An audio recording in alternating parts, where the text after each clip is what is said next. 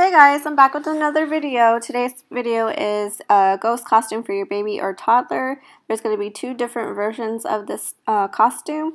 Right here is the poncho style that I went with my oldest daughter.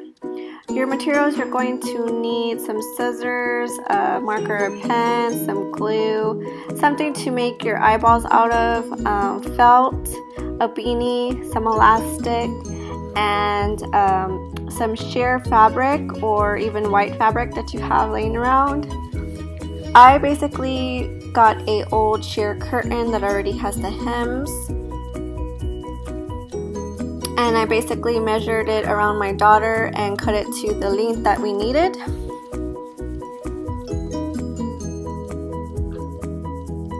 Basically you're going to stick your elastic through that hem line I definitely suggest using the elastic.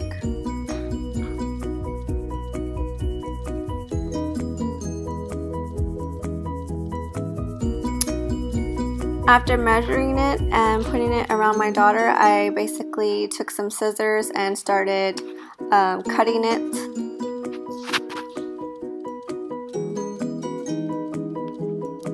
As you can see, there I put the black ribbon through the hem and made a hole.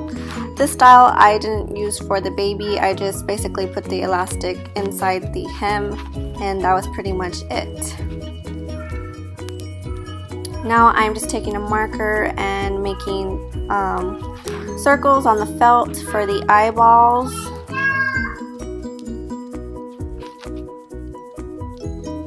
Here are the two eyeballs.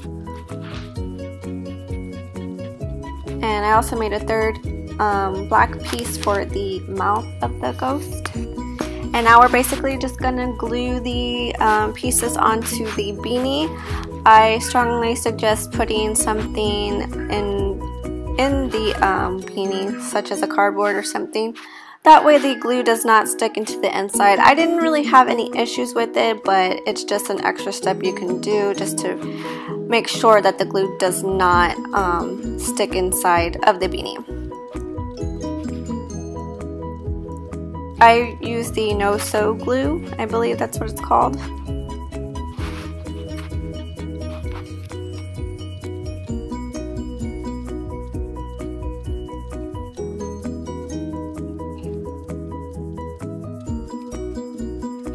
If you want to, you also can um, just cut out the black part of the eyeballs instead of white and place them on the beanie. It's really up to you. Um, one thing about being uh, doing your DIY costume, you can pretty much be creative as you want. So if you want to skip the uh, white eyeball part, you can.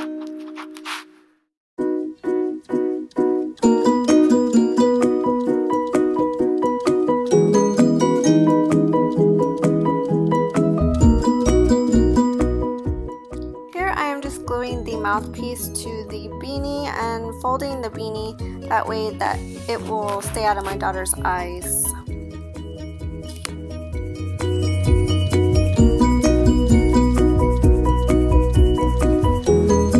For my oldest daughter, I decided to do a poncho version of the costume. Um, all you gotta do basically is get a square piece of fabric,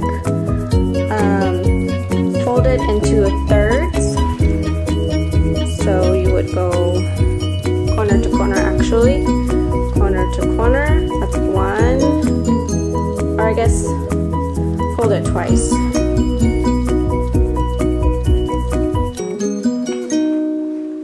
And then you would cut it right here to make your hole for the head to go through. You'd have a nice hole in the middle right here.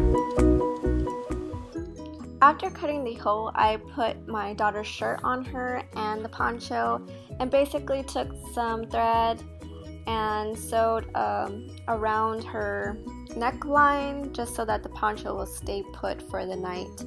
Um, and then I'll cut it once we're done with the costume. And that's pretty much it. Hope you guys enjoyed it.